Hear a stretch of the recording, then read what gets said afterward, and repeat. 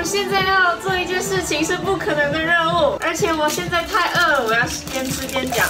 待会儿就是野餐了，大概剩了一个小时，我一定要出发。我要做海苔饭卷，尾鱼海苔饭卷，我从来没有做过，不可能的任务开始。我刚吃完两对四碗饭，没错。黄瓜跟洋葱、芝麻跟盐巴，还有麻油、美乃滋、醋、胡椒粉，开始。先洗菜，又想要拿那个板子，又想要洗菜。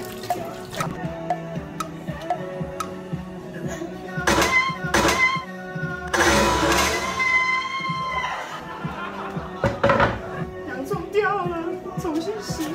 上次我直播的时候，有一位歌迷说不要驼背，好，我尽量。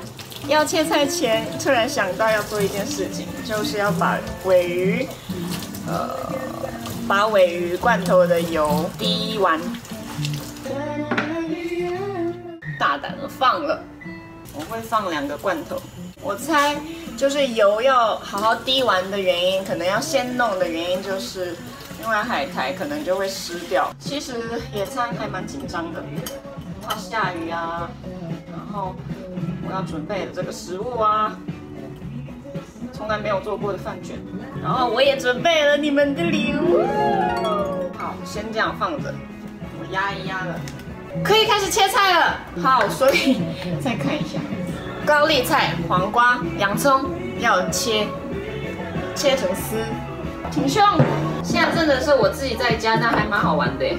没有小人拍摄，但是自己也可以这么嗨。我也觉得厉害嘛。看我流汗了。做海苔饭卷的好玩就是一直可以吃。好，可以了。黄瓜终于切完了，下一个。高丽菜又怎么切丝呢？比例应该可以比洋葱跟黄瓜多一点，因为高丽菜比较脆，那个口感很重要。觉得料太多了。终于切完了，大概三十分钟，花了三十分钟。黄瓜、高丽菜、洋葱。好，我要先做那个酱了。